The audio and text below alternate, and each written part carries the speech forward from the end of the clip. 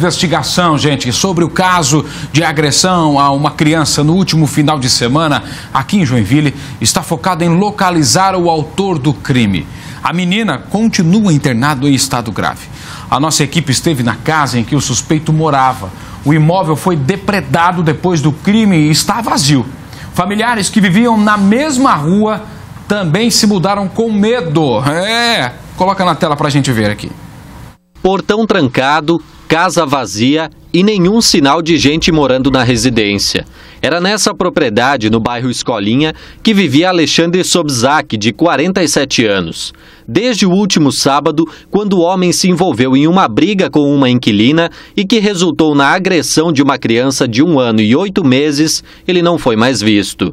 Segundo vizinhos que não quiseram gravar entrevista, a última movimentação na casa foi percebida ontem, quando parentes do homem vieram retirar o restante da mudança. Um irmão de Alexandre, que morava na mesma rua, precisou se mudar devido às frequentes ameaças. No muro que cerca o imóvel, uma frase foi pichada: O crime cobra.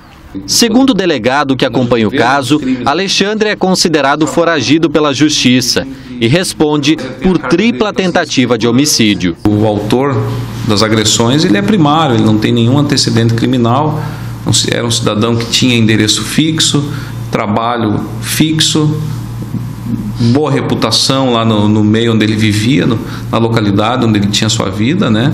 Então a nossa expectativa era que um cidadão desse passado o calor da, da situação do fato ocorrido, ele se apresentasse com um advogado até para esclarecer e prestar, prestar contas à justiça criminal. E isso não ocorreu. Então a prisão preventiva dele foi decretada, ele é considerado hoje foragido da justiça, mas as diligências e o que está sendo feito para capturar o autor do crime a gente mantém sigilo até para não atrapalhar a evolução da, das investigações. A kitnet onde a briga aconteceu já foi desocupada pelos inquilinos. O espaço, conforme já mostrou o Jornal do Meio Dia, foi totalmente depredado. A família da menina agredida nega envolvimento com a destruição do espaço. O crime teria sido motivado pelo atraso de quatro meses de aluguel e um suposto furto de materiais por parte dos inquilinos. A residência, que fica no Rio Bonito, era alugada por Charlene Rodrigues, de 23 anos.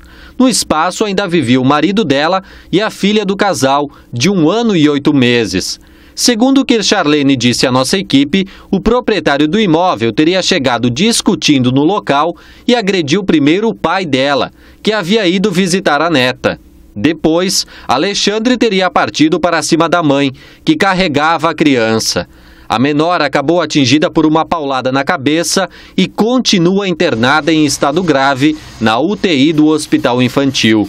Por telefone, a advogada que representa a família da menina falou sobre os próximos passos. Na verdade, agora a gente vai estar primeiro acompanhando, porque tem toda a parte é, de procedimento de investigação agora da delegacia que nós vamos estar acompanhando e aí sim para verificar as medidas judiciais.